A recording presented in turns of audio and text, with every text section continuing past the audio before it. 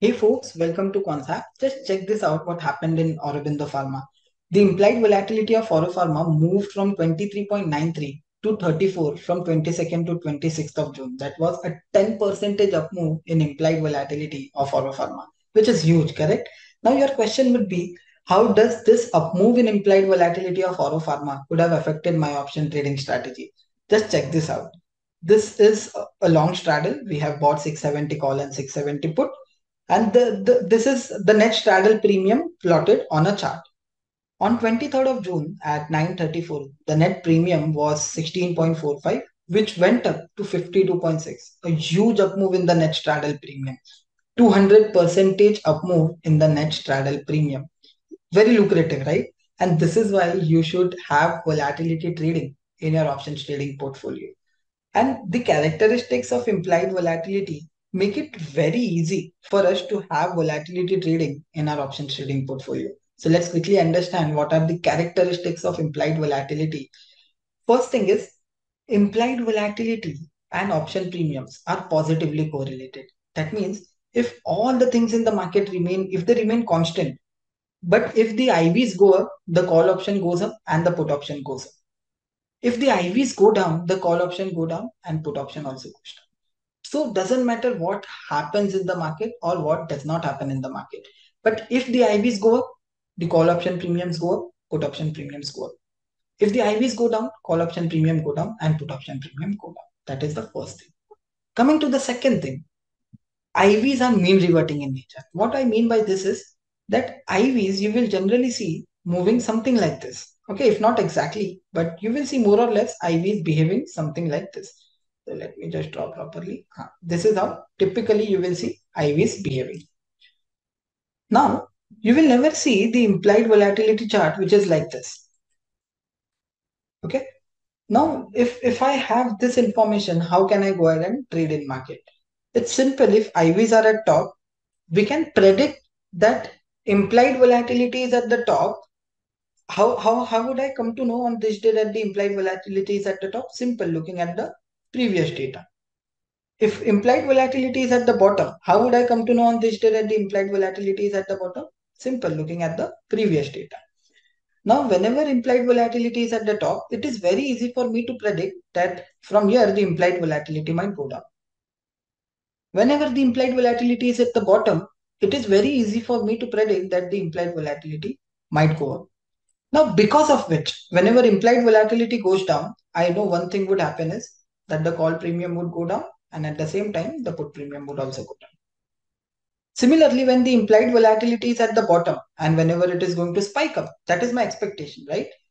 At that time, I know if the implied volatility spikes up, my call option premium would spike up and at the same time my put option premium would also spike up.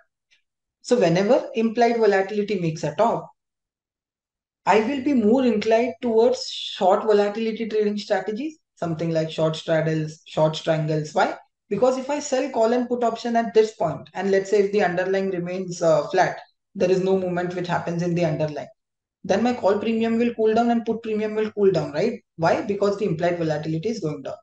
First thing. Second thing, if I have bought call and put option at this point, okay, when the IVs are at bottom, and if the IV spike up, it doesn't matter even if instrument remains flat but i know the i the iv jump which is happening in the market it will pump up my call premium and also my put premium.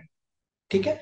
So it's very simple. Whenever the ivs are at the top i will prefer short volatility uh, trading strategies something like short straddles short strangles iron condors uh, short iron butterflies.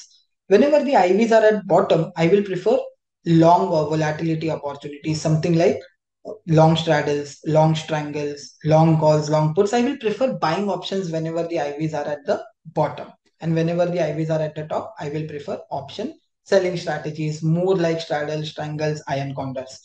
Now, I will keep volatility trading as a non-directional system. I will not include any direction over here. So whenever I am doing this, I don't have any forecast on the underlying where the underlying will go or what will happen. I just know that the IVs are at the top from here, the IVs might collapse. I just know that IVs are at the bottom. From here, the IVs might spike. Now, the problem is there are over 180 plus FNO stocks. We would never know that which stock implied volatility is at the top or at the bottom for me to go ahead and create a trade over there. So for this, we have a very simple analytic named as Vol Trader. You can access Quantsapp from link in the description box below or also from the iCard over here or else you can just log into web.quantsapp.com. And once you are in the application, just use the search panel and search for Vol Trader and you will find the analytic. Now open it and it's simple now. It is giving us assistance for our trade ideas. It is helping us in identifying opportunities for long volatility and as well as short volatility. Simple, wherever there is long volatility, we are expecting that the volatility of that stock might go up because of which option premiums would go up. So over there, my strategy is simple. I will buy call and put option.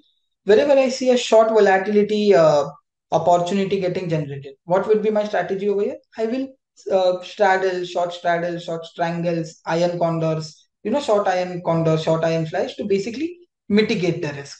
So all these are open signals for us to go ahead and have a look on the historical signals. We can simply navigate to chart section over here.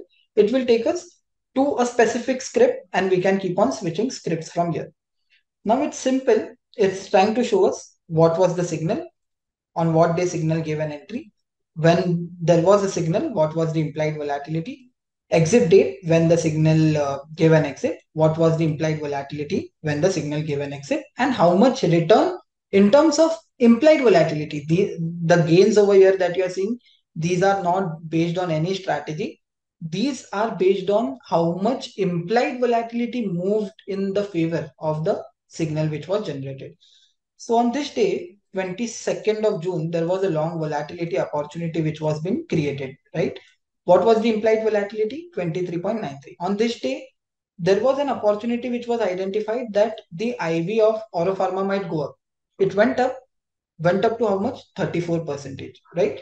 What was the gain? Uh, which the uh, how much the gain this signal provided? It provided us around a 10 percentage return only based on implied volatility. So it's simple. Implied volatility and option premiums are positively correlated. So we need to predict where the implied volatility will move. And it is very easier to predict with the mean reverting characteristics that implied volatility has. So whenever implied volatility is at the top, that is where we will prefer option selling opportunities, short volatility opportunities. Whenever implied volatility is at the bottom, that is where we will identify that there is a long volatility opportunity which has been created. To keep it all simple, just open Vol Trader. You will directly get assistance for volatility trading ideas. So do unlock Vol Trader and get ready-made assistance for your volatility trading ideas.